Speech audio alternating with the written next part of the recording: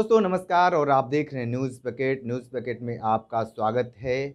मशहूर anchor, Sudarshan news channel के सुरेश चहाकड़े ने एक अपने ट्विटर हैंडल पे दो तीन दिन पहले बातें लिखी थी। उसको लेकर क्या कुछ काशी के लोग देखते हैं और हमारे साथ हैं वरिष्ठ अधिवक्ता। ये बताइए कि जिस तरीके से सुदर्शन न्यूज़ चैनल के एंकर ने ट्विटर हैंडल पे इस तरीके की भाषा जो लिखे हैं, उसको लेकर आप क्या कहेंगे?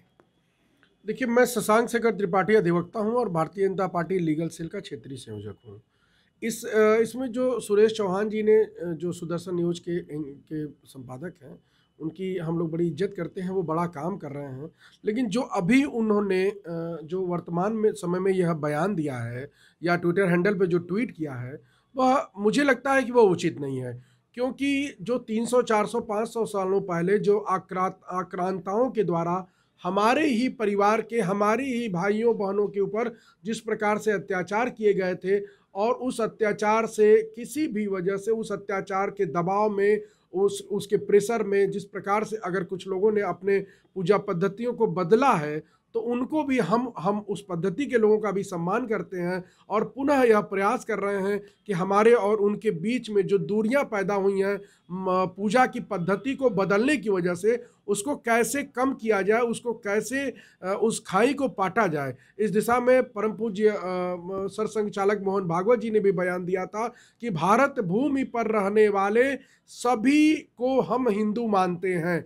क्योंकि वह उन्हीं सनातन सभ्यता के प्रतीक रूप हैं, वह राम और कृष्ण के वंशज हैं, वे इसी भारत माता की संतान हैं। और अगर किन्हीं तात्कालीन परिस्थितियों में, किसी दबाव में या किसी अन्य वश, चूँकि उस समय परिस्थितियाँ ऐसी थी कि जब आक्रांता आते थे, लूटते थे घर द्वार लूट लेते थे घरों को जला देते थे, कुएँ अपवित्र कर देते थे जल स्रोत अपवित्र कर देते थे, महिलाओं के साथ बलात्कार करते थे, उनके कपड़े जला देते थे और वो उन जिन परिस्थितियों में रहती थी, उन परिस्थितियों में जीने के लिए अगर हमारे भाइयों ने अपने मत अपने पंथ को बदला या पूजा पद्धति बदली तो हम लोग उस पर प्रयास कर रहे हैं कि उनके साथ हमारे जो जो पिछले आज़ादी के सत्तर सालों में जो बर्फ़ पिछली सरकारों ने जमा दी थी, हम उन बर्फ़ को गलाने का प्रयास कर रहे हैं और पुनः एक नया सवेरा बनाने का प्रयास कर रहे हैं। इसलिए हमको लगता है कि इन परिस्थितियों में इस तरह की के ट्वीट्स अगर आएँगे तो समाज में अच्छा संदेश नहीं देंगे।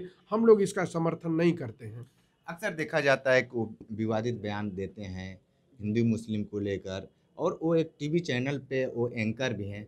क्या कुछ लगता है कि आने वाले समय में इस तरीके के एंकरों को समाचार टीवी चैनलों से दूर होना चाहिए? नहीं देखिए वैसे सुरेश चौहान जी अ, मुझे नहीं लगता कि बहुत बार इस तरह के विवादित बयान देते हैं लेकिन इस बार उन्होंने जो बयान दिया है उस बयान का हम लोग समर्थन नहीं करते हैं।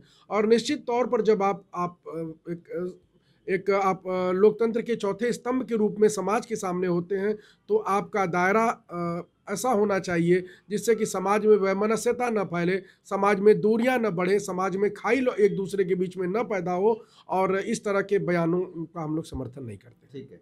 तो आप शशांक शेखर त्रिपाठी जी को सुन रहे थे, और ये अपनी बातें उन एंकरों को और जो सुदर्शन न्यूज़ चैनल के एंकर हैं, सुरेश चाहकड़े के बारे में बताया कि उनको इस तरीके की बातें नहीं कहनी चाहिए कि क्योंकि यह देश बिल्कुल बदल रहा है और हर लोग एक दूसरे को जानने के लिए आतुर हैं। लेकिन अक्सर देखा जाता है कि सुदर्शन न्यूज़ चैनल के जो एंकर हैं, सुरेश जी, अक्सर कहीं ना कहीं विवादों के घेरे में रहते हैं।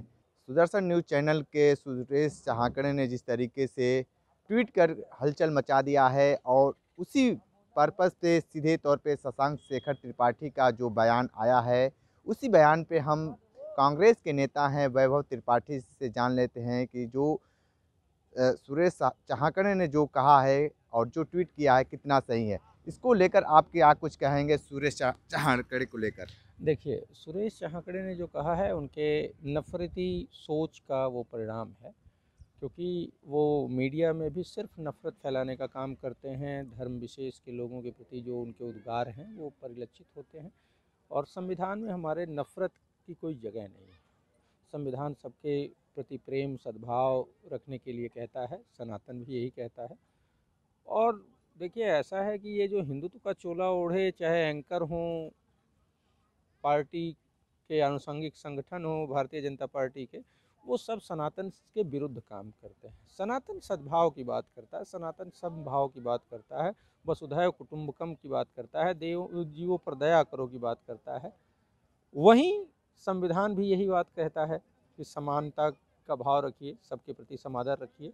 वही बात कांग्रेस करती है कि सभी के प्रति, सभी की आस्था, धर्म, पूजा पद्धति, उपासना, इनमें हमको नहीं पढ़ना चाहिए, वो उनका निजी मामला है। और समा, जैसे सनातन संविधान, वैसे ही कांग्रेस ये मानती है कि सबके प्रति समान भाव रखिए और सम्मान से उनके पूजा पद्धतियों को देखिए। हमको नहीं अधिकार है कि हम किसी के प्रति ऐसी अभद्र टिप्पणी करें। जो अभद्र टिप्पणी कर रहे हैं और उसके प्रति जो बीजेपी विधि प्रकोष्ठ के पदाधिकारी काम कर रहे हैं तो इससे साफ़ ज़ाहिर होता है कि उनको ये लगता है कि जो वो एंकर महोदय नफ़रत टीवी पे फैलाते रहते हैं, वो अच्छा काम है। मतलब क्या है कि नफ़रत फैलाना और बीजेपी का एजेंडा एक, ये सत्यापित हो जाता है। मैं ये कहना चाहता हूँ कि बीजेपी एक एजेंडे पे तो ये है कि नफ़रत फैलाने का समर्थन करती है, दूसरे एजेंडे पे चाहे प्रधानमंत्री हों, चाहे संघ के प्रमुख हों, नेता हों, वो कहते हैं कि नहीं जी, हम तो प्रेम की बात करते हैं। तो उनकी बात और कर्म, ये दोनों भिन्न हैं। वो कहना कुछ है और करना कुछ है। एक पुरानी कहावत है, मुख में राम, बगल में छुरी। तो जो संघ और भाजपा के लोग हैं, ये ऐसा ही, मुँह से तो राम राम कहते हैं, लेकिन बगल में छुरी रखते हैं, कब गला काट देंगे?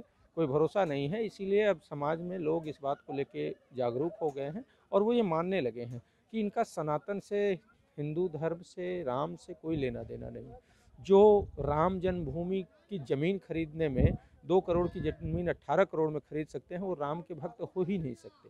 क्योंकि लोग तो राम के लिए दो रुपए अगर हैं तो वो सोचते हैं कि दो रुपए और जोड़ के हम चार रुपए दान कर दें।